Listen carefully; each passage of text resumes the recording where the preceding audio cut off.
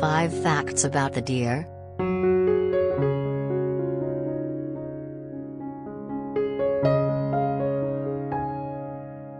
There are over 60 different species of deer worldwide.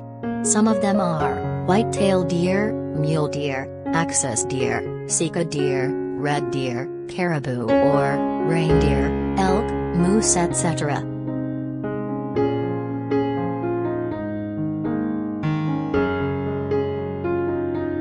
Deer species range from very large to very small.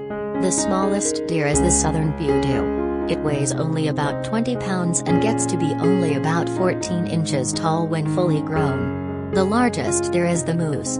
It can grow up to 6.5 feet from hoof to shoulder and weigh around 1,800 pounds.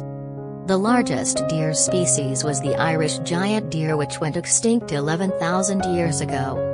Reaching 7 feet tall at the shoulder, the Irish deer's antlers could span 12 feet, four times the width of a single bed.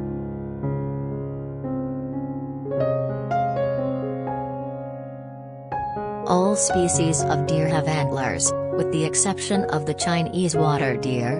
Instead of antlers, they have long canine teeth which can be as long as 8 centimeters. Each year, antlers fall off and regrow. As they regrow, they are covered in a furry coat called velvet. The velvet is rich in nerves and blood vessels, allowing the antlers to regrow quickly.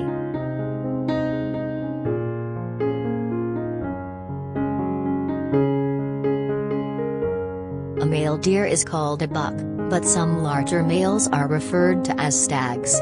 A female deer is called a doe or hind. A young deer is called a fawn. Bucks and does can be distinguished from each other by the presence of antlers.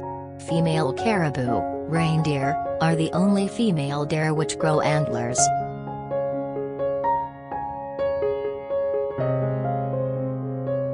Deer can jump up to 10 feet high and are very good swimmers.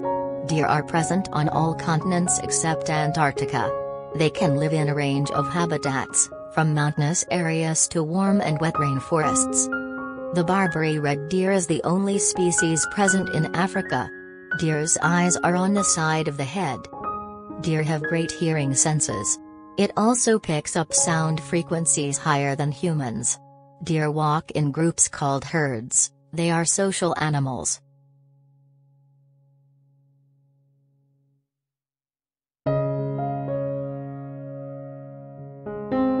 Thank you for watching. Please like, share and subscribe our channel.